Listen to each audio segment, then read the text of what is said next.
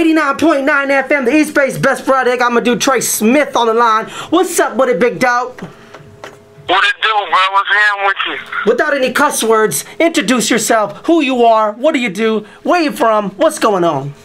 Hey, what it do, man? My name's Trey Smith, man. I'm out, I'm straight out of Lafayette, Louisiana. You heard me?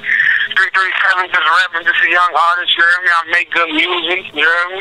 That's Yeah. all. That's what it is, man. To all the listeners and the fans that are tuned in right now and listening to you for the first time on the radio, do you have a message for them? And if so, what would that message be? Man, I just want to let all the listeners out there know. You hear me? Uh, I, I mess with my producer.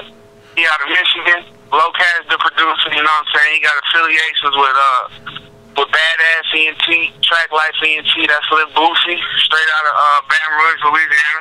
I'm shout out to them. Uh, I got an album coming. You feel me? I'm, I'm affiliated with this label out of Detroit, Michigan, Linwood Records. You me? Just putting on, making good music, my nigga. That's all. Yeah, yeah, most definitely check that out as well. Let's get to the shout outs uh, or your contacts first. Uh, Facebook, YouTube, Twitter, email, website, Instagrams, and all the good stuff. What would that be?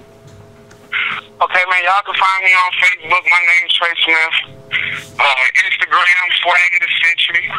I ain't on Twitter, but y'all can find me on them two uh, social medias. Uh, quick shout out. I'm gonna shout out my producer, Locas, the producer. I want to give a shout out to Lit Donkey. He, he's from Badass ENT Track Life. Shout out Lil Boosie. Shout out my nigga Kevin Gates. You heard me? They holding it down for the South right now, going hard. You heard me? Uh, That's what it is. Shout out to all those folks as well, man. My dude Trey Smith. Anything else that you want the people to know before we hit commercials? I just want to let them know, you know what I'm saying? My, my, uh, Lil Boosie got that album he about to drop, so y'all go ahead and get that.